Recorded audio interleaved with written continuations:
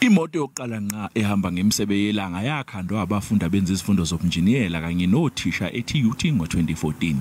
Lena ke imoto yokuqala ehamba ngamandla emsebe yelanga iphuma kule nyuvesi kanti ibizwa ngeSunchaser 4 izoncintisana nezinye izikhungo zemfundo ephakeme. Cishe bonke abafundi abenza izifundo zobunjiniyela kulesi khungo babe yingxenye yokwakhiwa kwalolu hlobo lwemoto ezohamba njengezinye izimoto kude kude Namibia. I think what, what gives us the edge really is that we, we have put in a lot of effort in our wireless telemetry that sends data from the solar car to our uh, data center, and our data center will then process it.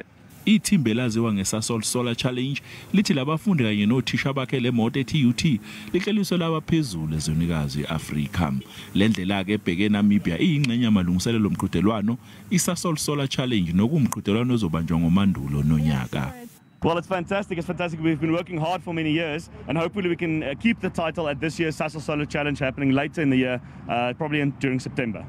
iphini leshansela lase-tut lithi imsebenzi efana nalena yelekelela abafundi ukuthi bakwazi ukulungela ukusebenza uma beqeda isikole As an example, one of our students um, who have worked in, this in one of the projects of this core um, is is now being taken by Netherlands, but the requirement was that he needs to complete his masters with us. ithimba leSunchase kulindeleke ukuthi litheleke eNamibia leli thimba lizovakashela ekolishi Paul ukuze abafundi bakwazi ukubona bafunde ngobuchwepheshe besimanje nangendlela obusetshenziswa ngayo